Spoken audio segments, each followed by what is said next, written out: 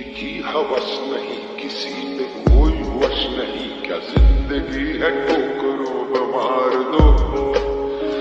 मौत अंत है नहीं तो मौत से भी क्यों डरे? ये जाके आसमान में दहाड़ दो। प्रचंड बोले, मस्तकों के टुकड़ और जंग की घड़ी की तुमको हार दो।